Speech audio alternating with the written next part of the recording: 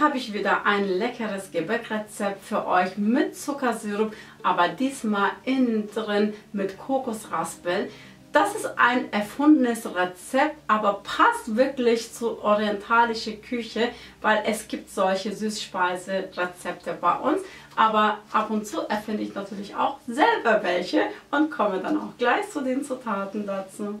Ich werde erstmal den Zuckersirup vorbereiten. Dafür habe ich zwei Gläser Zucker und nehme drei Gläser Wasser.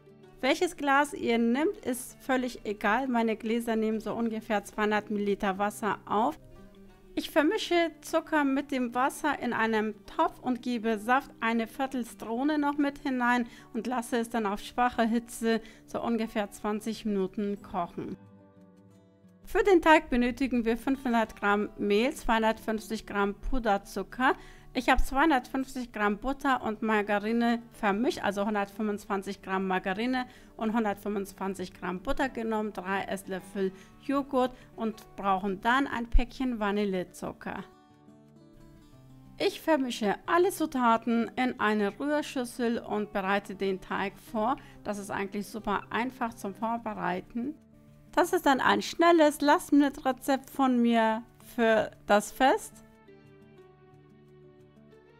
Das ist ein sehr schöner, geschmeidiger Teig geworden. Jetzt gebe ich ein Esslöffel Kakao hinein.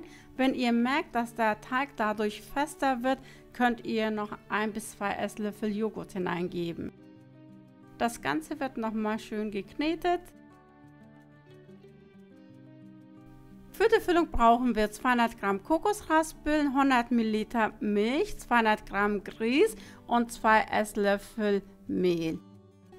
Auch für die Füllung gebe ich alle Zutaten in eine Rührschüssel hinein und knete das Das dürfte jetzt nicht zu fest sein. Ihr müsst so richtig Kügelchen daraus formen können. Wenn ihr merkt, dass das Ganze auseinanderfällt, könnt ihr noch ein bisschen Milch hineingeben. Ich habe noch 100 Milliliter Milch hineingegeben. Ich mache ja alles nach Gefühl. Ich hatte euch ja am Anfang 100 Milliliter Milch gesagt, aber jetzt habe ich noch mal 100 Milliliter dazugegeben, also 200 Milliliter Milch.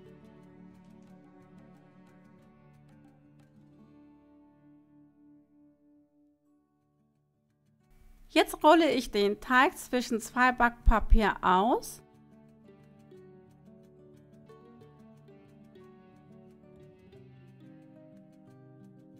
Und schneide den Teig in der Mitte einmal durch mit dem Backpapier. Ihr werdet später sehen, wieso wir das mit dem Backpapier zusammenschneiden. Ich habe so quadratische Ausstechformen. Ihr könnt etwas anderes nehmen oder mit einem Glas rund ausstechen, das ist euch überlassen. Jetzt werde ich auch die Füllung zwischen zwei Backpapier ausrollen. Aus dem dunklen Teig hatte ich ja so Streifen ausgeschnitten. Jetzt werde ich auch aus der Füllung so breit wie meine Ausstechform so Streifen ausschneiden. Ich habe die Füllung auf einen Teigstreifen gegeben und gebe das nächste darüber. Jetzt könnt ihr den anderen Teigstreifen einfach mit dem Backpapier darüber geben, ohne dass es bricht.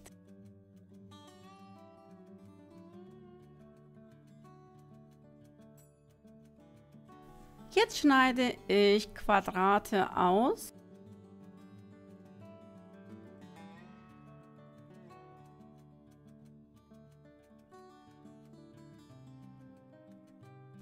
Wie gesagt, ihr könnt andere Formen ausstechen. Ihr könnt das mit einem Glas ausstechen, wenn ihr diese quadratischen Ausstechformen nicht habt. Jetzt schneide ich die einmal in der Mitte durch, dass ich dann Dreiecke rausbekomme.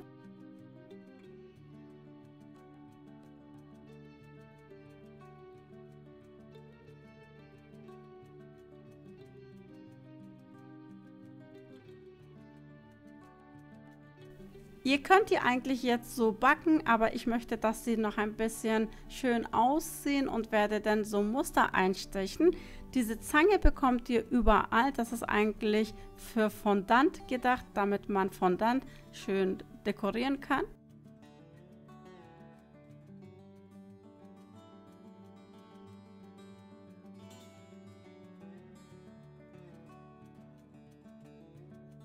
Wie gesagt, ihr könnt die auch einfach so backen.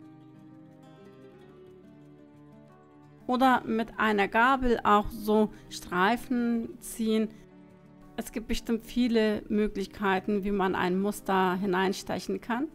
Dann gebe ich die auf ein Blech.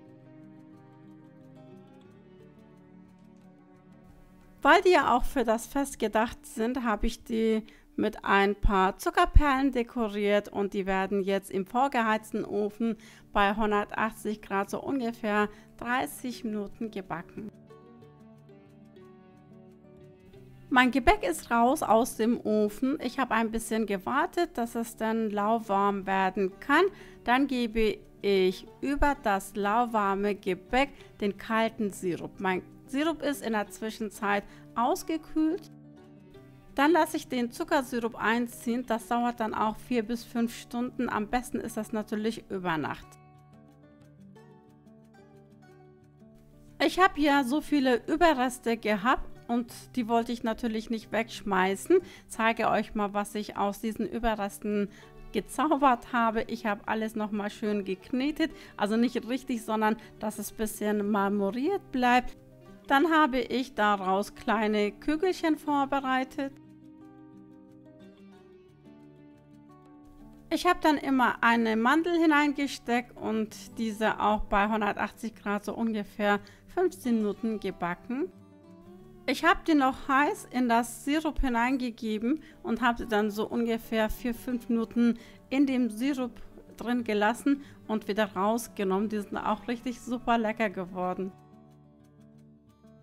Ich habe dann ganz zum Schluss mein Gebäck mit Kokosraspeln dekoriert. Da sie auch mit Kokosraspeln gefüllt sind, passt das, finde ich, wunderbar.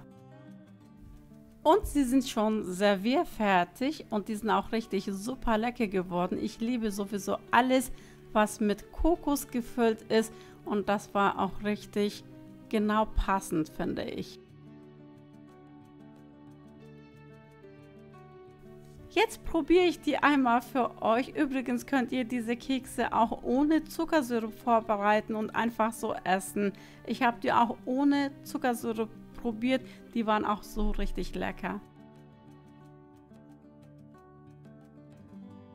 Und das sind dann die anderen, die ich dann aus den Überresten gebacken habe. Ich hoffe natürlich, dass euch auch dieses Rezept gefallen wird. Probiert das unbedingt aus. Euch wünsche ich viel Spaß dabei und sage Tschüss bis zum nächsten Video.